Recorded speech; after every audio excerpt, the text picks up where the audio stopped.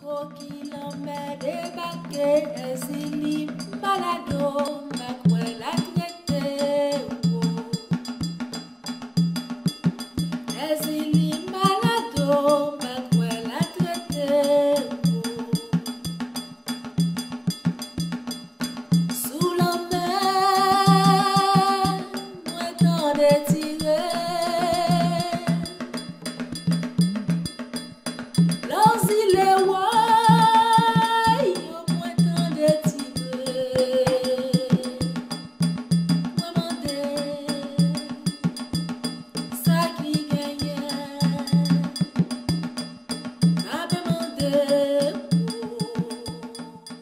When Botticelli died in 1510, at the age of 65, he had already been eclipsed by Leonardo and Michelangelo.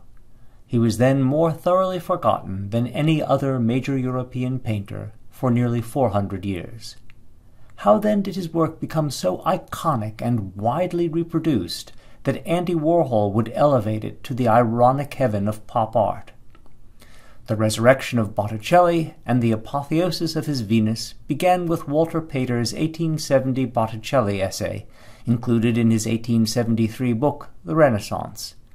This became nearly a manifesto for the Pre-Raphaelite movement, an English school of painting which exalted the artists of the early Italian Renaissance. As a result of Pater and the Pre-Raphaelites, appreciation of such forgotten masters as Botticelli became integral to what the English called the aesthetic movement and which was known as symbolism in France. Botticelli's adoption by these last major pre-modern movements in art led to him being, from 1900 to 1920, the most written about painter on earth. Thus, when color printing first came into general use, Botticelli would be a natural candidate and enduring favorite for art books, postcards, and by the late 20th century, posters and refrigerator magnets. To understand Botticelli's career, it is worth our while to consider two paragraphs from Pater's essay, in which he nearly discovers the secret of Botticelli's women, and then reobscures it with a late romantic gynophobia. It is this which gives to his Madonnas their unique expression and charm. He has worked out in them a distinct and peculiar type, definite enough in his own mind, for he has painted it over and over again, sometimes one might think almost mechanically, as a pastime during that dark period when his thoughts were so heavy upon him. Hardly any collection of note is without one of these circular pictures, into which the attendant angels depress their heads so naively. Perhaps you have sometimes wondered why those peevish-looking Madonnas, conformed to no acknowledged or obvious type of beauty, attract you more and more, and often come back to you when the Sistine Madonna and the versions of Fra Angelico are forgotten.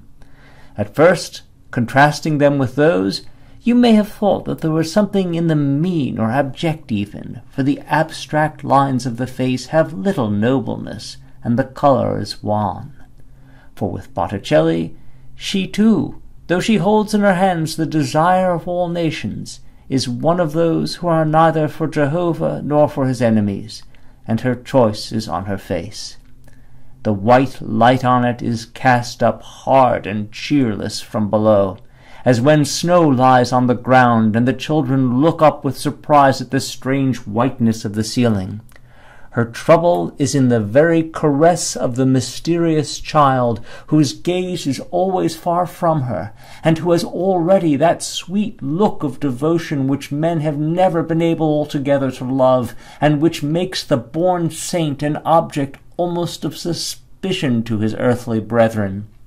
Once indeed he guides her hand to transcribe in a book the words of her exaltation, the Ave, and the Magnificat, and the Gaude Maria, and the young angels, glad to rouse her for a moment from her dejection, are eager to hold the inkhorn and to support the book.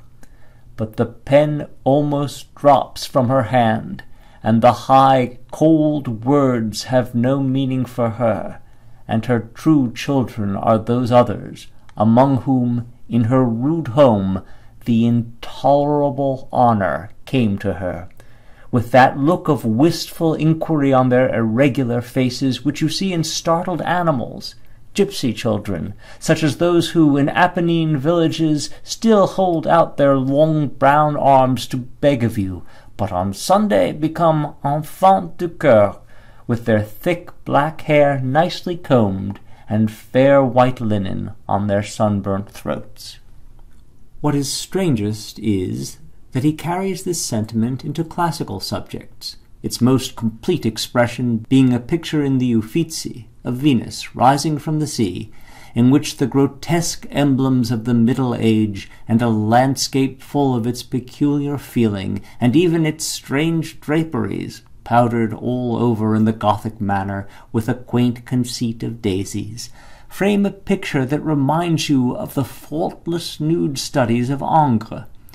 At first, perhaps, you are attracted only by a quaintness of design, which seems to recall all at once whatever you have read of Florence in the fifteenth century. Afterwards, you may think that this quaintness must be incongruous with the subject, and that the color is cadaverous, or at least cold. The light is indeed cold, mere sunless dawn, but a later painter would have cloyed you with sunshine, and you can see the better for that quietness in the morning air, each long promontory as it slopes down to the water's edge. Men go forth to their labors until the evening, but she is awake before them, and you might think that the sorrow in her face was at the thought of the whole long day of love yet to come. An emblematical figure of the wind blows hard across the grey water, moving forward the dainty-lipped shell on which she sails, the sea showing his teeth as it moves, in thin lines of foam, and sucking in, one by one, the falling roses, each severe in outline, plucked off short at the stalk, but embrowned a little, as Botticelli's flowers always are. I have used the much abused term gynophobia to describe Pater's agenda, and I employ it precisely. Pater has projected his own romantic anxieties, his fears of rejection and love withheld or denied, upon these images. The Madonnas, Pater tells us, are peevish. They have something mean or abject about them. They lack nobleness which is a roundabout way of saying they are beautiful women as much as they are religious images. He says, The Madonna's faces shine with a hard and cheerless light, neither of God nor of the devil, but of total self absorption. They are indifferent to the children in their arms, who are emotionally orphaned, neglected, vagabond gypsy children, wistful, pathetic seekers of unattainable love. Pater's treatment of Venus is even more direct. She is pale and cold as a cadaver, an emblem of the sadness of pleasure, that is to say, of regret for sexual feelings. The Victorian condemnation of sensuality here becomes even more direct. She and her shell are a cruel apotheosis, white gleams of the ocean showing its teeth. All this neurosis struck fin de siècle readers as compelling because it brought Botticelli into the late Romantic mythology of the fatal woman. It must be recalled that Von Sacher-Masoch's novels, with their heroines, in his phrase, cruelly beautiful and beautifully cruel, were international bestsellers in Pater's time, and regarded not as specialty porn, but as serious modern literature.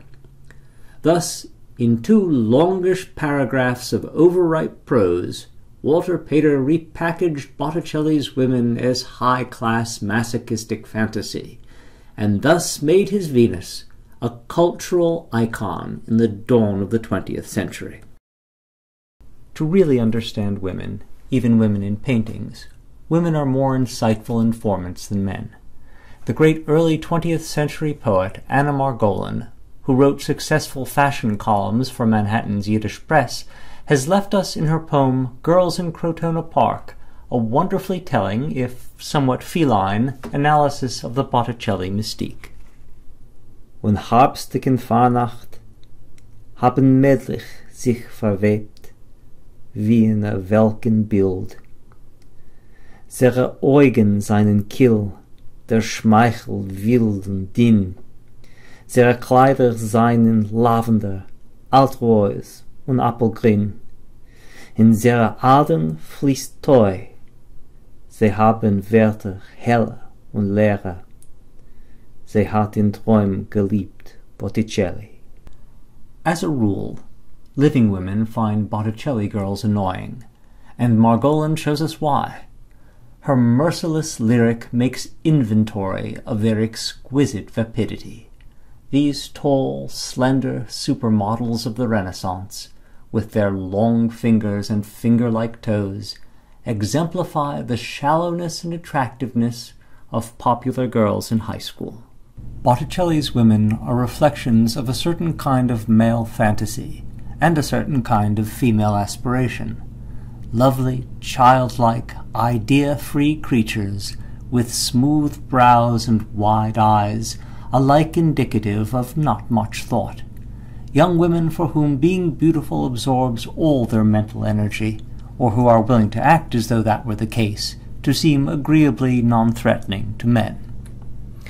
No wonder Andy Warhol saw in this Venus a peer of Marilyn, whose film persona was precisely of this type.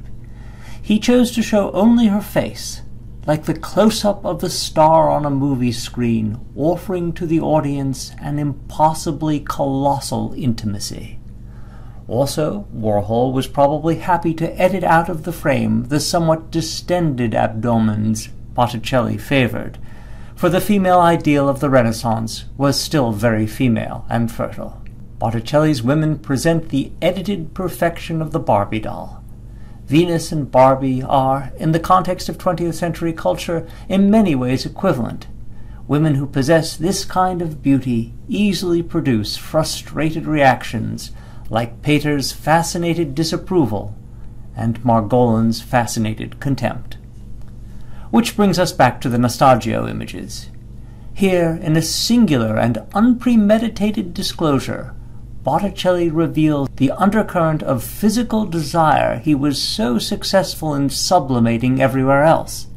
Repressed erotic energy turned inward and become cruel is the subtext of the cavalier's desires. Boccaccio says, The cavalier, having concluded his discourse, sword in hand, ran raging like a mad dog upon the maiden who, on her knees, held in place by the two mastiffs, cried loud for mercy. With all his strength he drove his brand through the centre of her chest, so that it passed clear through and came out her back. After receiving this blow, she fell forward on her face, weeping and screaming still. The knight took a dagger, with which he opened her back near the kidneys, and dragging out her heart and all the internal organs, he threw them to the two hounds, who straightway devoured them as eagerly as if they'd been starving. The cavalier runs upon her like a mad dog. The identification of the knight himself with the dogs that accompany him as inseparable attributes is here explicit the symbolic penetration, the oral sadism, the desire to punishingly absorb the love object so long denied, left subliminal in the story, here becomes, in the paintings, horrifically visible. We know that Botticelli, at the end of his life, became a follower of the ascetic fundamentalist Savonarola.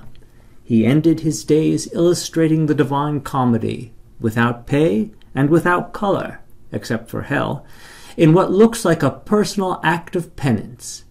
Now we can better understand why. Not that Botticelli was in any way abnormal, but as a devout Catholic at the end of the Middle Ages, he was raised with a level of sexual repression that is barely imaginable in the early 21st century in the industrialized world. This gave him an ambivalence towards his normal desires. Repression produced his beautiful female figures, with their hallucinatory, not quite erotic charm. Their expressions may seem detached, as they did to Pater, or shallow, as Margolin thought, but in reality they are neither cold nor stupid, but merely, as women, unreal. They are fantasies, though, considering their astonishing beauty, it would be fairer to call them visions. The cost of this sublime sublimation was a demonization of Botticelli's normal drives, which made them seem to him as ugly and frightening as they appear in the Nastagio images. So ugly, in fact, that Botticelli felt he had to atone for them in the last decades of his life by illustrating Dante.